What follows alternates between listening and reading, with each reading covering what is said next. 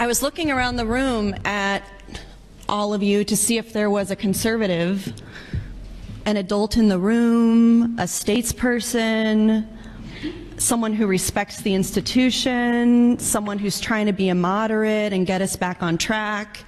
If there was anybody who was going to make a motion to reconsider the vote we've taken.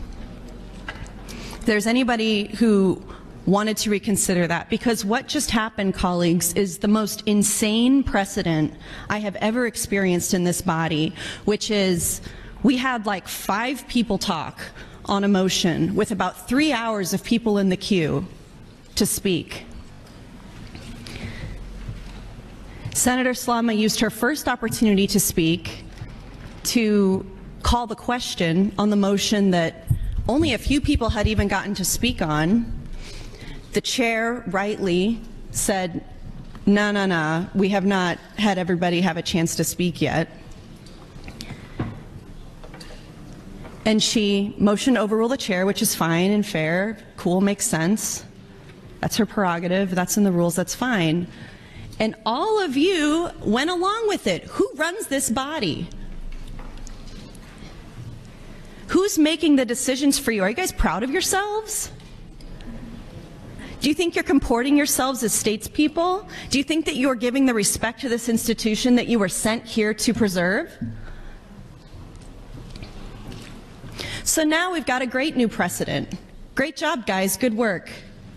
Well done, colleagues. Now, when four or five or six people have spoken on a motion or an amendment or a bill, however dilatory you might think it is, however substantive it may actually be, now we have a precedent that somebody can call the question and steamroll three hours of debate. Well done. Mr. President, am I allowed to ask anybody questions on this time? Yes, you are, Senator. Senator Hughes, would you yield to a question? Senator, Senator Hughes, will you yield? Yes.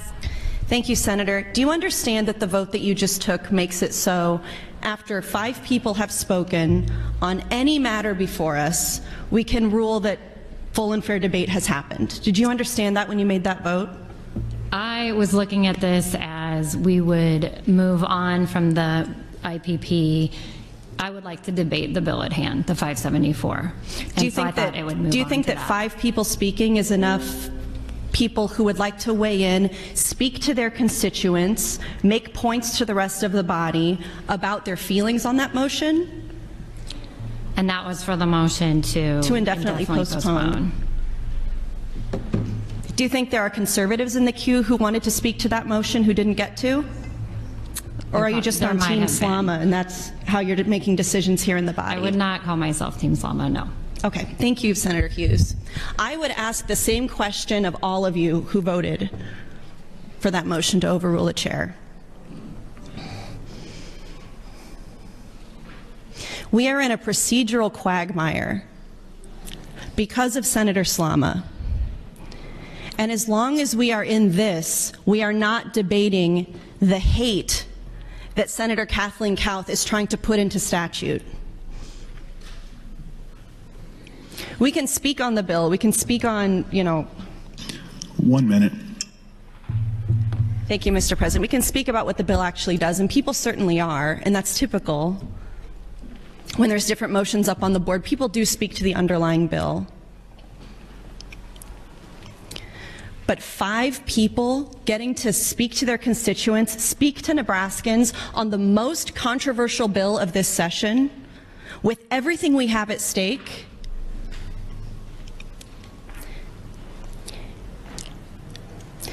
A lot of you don't know your role in this body. But the thing that you can do is always look at the rules, look at precedent, and ask yourself what the right thing to do is. Don't just look around and say, oh, here's somebody I like who's doing the same thing. You can't think that way. You're allowing yourselves to be controlled just as you're trying to control the children and families of this state.